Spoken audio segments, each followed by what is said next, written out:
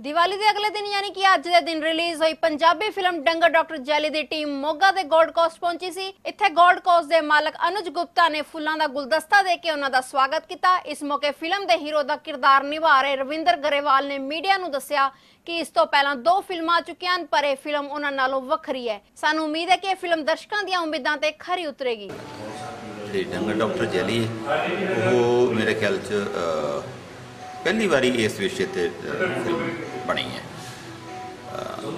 ਅਸੀਂ ਜਦੋਂ ਗੱਲ ਕਰਦੇ ਹਾਂ, ਕੋਈ ਬੰਦੇ ਬਾਰੇ ਗੱਲ ਕਰਦੇ ਉਹ ਜਾਓ ਡੰਗਰਾ। ਡੰਗਰ ਜਿਹੜਾ ਹੈ, ਉਹ ਸਾਡੀ ਲਾਈਫ 'ਚ ਬਹੁਤ ਪੋਜ਼ਿਟਿਵ ਅਰਥ ਰੱਖਦਾ ਹੈ। ਜਦੋਂ ਤੋਂ ਜੰਮਦੇ ਆ ਉਦੋਂ ਤੋਂ ਹੀ ਡੰਗਰਾਂ ਨਾਲ ਵਾਹ ਪੈਂਦਾ ਹੈ। ਡੰਗਰ ਨੇ ਸਾਡੀ ਜਿਹੜੀ ਪਸ਼ੂ ਹੈ, ਉਹਨਾਂ ਨੇ ਇਨਸਾਨ ਦੀ ਬਹੁਤ ਹੈਲਪ ਕੀਤੀ ਹੈ। ਸਾਡੇ ਆ ਹੁਣ ਮਸ਼ੀਨੀਕਰਨ ਹੋ ਗਿਆ।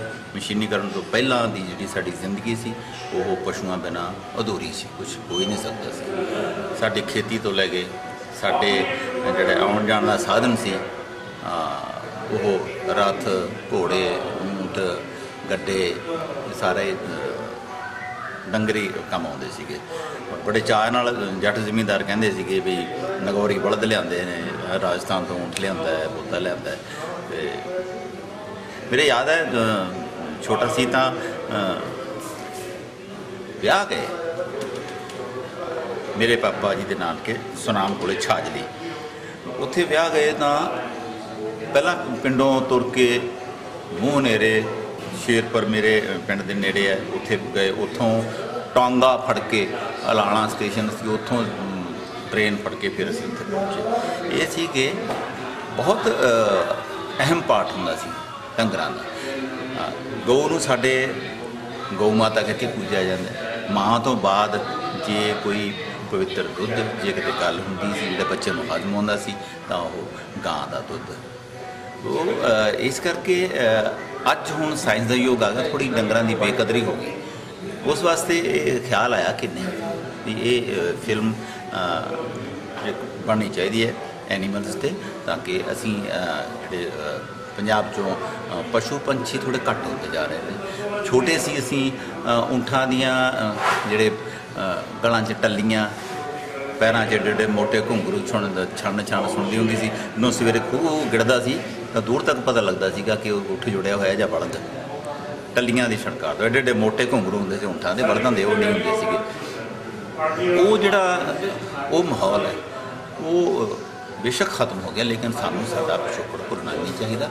ਸਾਨੂੰ ਮਾਹੌਲ ਨੂੰ ਇਸ ਫਿਲਮ 'ਚ ਦਿਖਾਉਣ ਦੀ ਕੋਸ਼ਿਸ਼ ਕੀਤੀ ਗਈ ਹੈਗੀ ਹੈ। ਜੀ ਜੀ ਇਹ ਫਿਲਮ ਦੇ ਵਿੱਚ।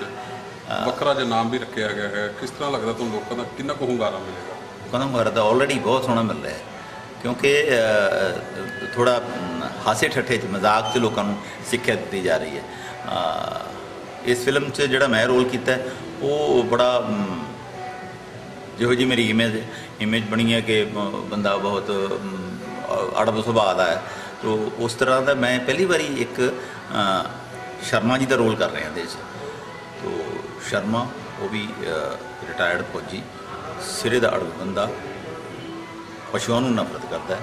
ਸ਼ਰਮਾ ਹੋ ਕੇ ਪਸ਼ੂਆਂ ਨੂੰ ਨਫ਼ਰਤ ਕਰਦਾ ਹੈ।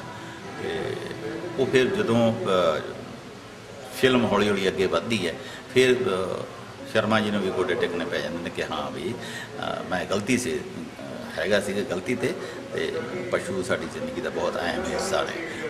ਸਭ ਤੋਂ ਪਹਿਲਾਂ ਤਾਂ ਇਹ ਸ਼ੁਕਰੀਆ ਬਹੁਤ ਬਹੁਤ ਸਾਰੀ ਟੀਮ ਦਾ ਇੱਥੇ ਸਾਡੇ ਘਰ ਪਹੁੰਚੇ ਨੇ ਮੋਗਾ 'ਚ 골ਡ ਕੋਸਟ ਕਲੱਬ 'ਚ ਪਹੁੰਚੇ ਨੇ, ਬਹੁਤ ਬਹੁਤ ਸ਼ੁਕਰੀਆ ਇਹਨਾਂ ਦਾ। ਜੇ ਆਪਾਂ ਮੂਵੀ ਦੀ ਗੱਲ ਕਰੀਏ ਜਾਂ ਸਰ ਰਵਿੰਦਰ ਗਰੇਵਾਲ ਇਹਨਾਂ ਦੀ ਗੱਲ ਕਰੀਏ, ਤਾਂ ਜਿੰਨੇ ਵੀ ਇਹਨਾਂ ਦੇ ਸਮਕਾਲੀ ਸੀ, ਇਹ ਇਕਲੌਤੇ ਨੇ ਜਿਨ੍ਹਾਂ ਨੇ ਆਪਦਾ ਸਟੈਂਡਰਡ ਮੇਨਟੇਨ ਕੀਤਾ ਹੋਇਆ। ਸੋ ਵਾਕਈ ਕੋਈ ਨਾ ਕੋਈ ਗੱਲ ਤਾਂ ਹੈਗੀ ਹੈ ਜਿਹੜਾ ਲੋਕ ਇਹਨਾਂ ਨੂੰ ਸੁਣਨਾ, ਇਹਨਾਂ ਦੀਆਂ ਮੂਵੀਜ਼ ਨੂੰ ਦੇਖਣਾ ਪਸੰਦ ਕਰਦੇ ਨੇ ਜਾਂ ਵੇਟ ਕਰਦੇ ਨੇ ਇਹਨਾਂ ਦੀ ਮੂਵੀਜ਼ ਦੀ। ਬਾਕੀ ਸਰਦਾਰ ਸੋਹੀ ਸਾਹਿਬ ਬਾਰੇ ਜੋ ਕੀ ਕਹਾਂ, ਇਹ ਤਾਂ ਮਤਲਬ ਸੂਰਜ ਨੂੰ ਦੀਵਾ ਦਿਖਾਉਣ ਦੇ ਬਰਾਬਰ ਹੈ ਪਰ ਫਿਰ ਵੀ ਮੈਂ ਗੁਸਤਾਖੀ ਕਰਾਂਗੀ। ਇਹਨਾਂ ਦਾ, ਇਹਨਾਂ ਦੀ ਗੱਲ 'ਚ ਵਜ਼ਨ ਆ। ਜਦੋਂ ਵੀ ਇਹ ਕੋਈ ਗੱਲ ਕਰਦੇ ਨੇ ਸਭ ਕਹਿਣਾ ਨਹੀਂ ਪੈਂਦਾ ਕਿ ਧਿਆਨ ਦੇ ਕੇ ਸੁਣੋ। ਮੱਲੋ ਮੱਲੀ ਬੰਦੇ ਦਾ ਅਹ, ਮਤਲਬ ਸੁਣਦਾ। ਤੁਸੀਂ ਸੰਦੇਸ਼ ਤਾਂ ਪਹਿਲਾਂ ਤਾਂ ਇਹੀ ਹੈ ਜੀ ਕਿ ਦੀਵਾਲੀ ਦਾ ਟਾਈਮ ਹੈ ਔਰ ਬੜੀ ਸਟ੍ਰੈਸ ਹੈ ਅੱਜ ਕੱਲ ਹਰ ਇੱਕ ਦੇ ਜੀਵਨ 'ਚ।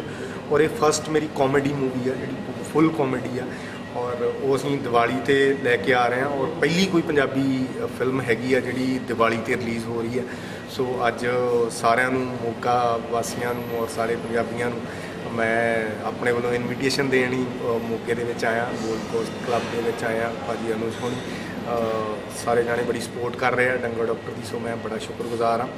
ਔਰ ਮਾਹੌਲ ਬਹੁਤ ਵਧੀਆ ਬਣਿਆ ਹੋਇਆ ਫਿਲਮ ਦਾ, ਜਿੱਥੇ ਜਿੱਥੇ ਵੀ ਜਾਂਦੇ ਆ, ਕਿਉਂਕਿ ਜਦੋਂ ਦੀ ਅਸੀਂ ਗਰਾਊਂਡ ਪ੍ਰੋਮੋਸ਼ਨ ਸਟਾਰਟ ਕੀਤੀ ਆ, ਔਰ ਜਿੰਨਾ ਰਿਸਪੌਂਸ ਮਿਲ ਰਿਹਾ ਸਾਨੂੰ ਇਹਦੇ ਟ੍ਰੇਲਰ ਨੂੰ, ਜਿੰਨਾ ਪਸੰਦ ਕੀਤਾ ਸਾਰਿਆਂ ਨੇ, ਕਿਉਂਕਿ ਇਹ ਸਬਜੈਕਟ ਇਹੋ ਜਿਹਾ ਕਿ ਐਨੀਮਲਸ ਦੇ ਉੱਪਰ ਪਹਿਲੀ ਵਾਰੀ ਕਿਸੇ ਪੰਜਾਬੀ ਫਿਲਮ 'ਚ ਕੰਮ ਹੋਇਆ। ਔਰ ਬੱਚਿਆਂ ਨੂੰ ਬਹੁਤ ਚੰਗਾ ਲੱਗ ਰਿਹਾ ਨਾ ਔਰ ਬਜ਼ੁਰਗਾਂ ਨੂੰ ਵਧੀਆ ਲੱਗ ਰਿਹਾ ਕਿਉਂਕਿ ਸਾਡੇ ਰੂਟਸ ਦੇ ਨਾਲ ਜੁੜੀ ਹੋਈ ਸਟੋਰੀ ਆ ਪਿੰਡਾਂ ਦੀ ਕਹਾਣੀ ਆ ਸੋ ਡੰਗਰ ਡਾਕਟਰ ਇਹੋ ਜੀ ਫਿਲਮ ਆ ਕਿ ਬੱਚਿਆਂ ਤੋਂ ਲੈ ਕੇ ਬਜ਼ੁਰਗਾਂ ਤੱਕ ਮੈਨੂੰ ਲੱਗਦਾ ਸਾਰਿਆਂ ਨੂੰ ਚੰਗੀ ਲੱਗੂਗੀ ਔਰ ਇੱਕ ਫੈਮਿਲੀ ਪਿਕਚਰ ਆ ਸੋ ਮੈਂ ਇਹੀ ਕਹੂੰਗਾ ਕਿ ਆਪਣੇ ਪਰਿਵਾਰਾਂ ਸਮੇਤ ਜਾਓ ਔਰ ਤੁਸੀਂ ਇੰਜੋਏ ਕਰੋਗੇ Dangar doctor For good health, please subscribe A1 Healthcare. For better music, subscribe A1 Music. For best informational programs, please subscribe A1 Punjabi TV. And for all updated news, please subscribe A1 News.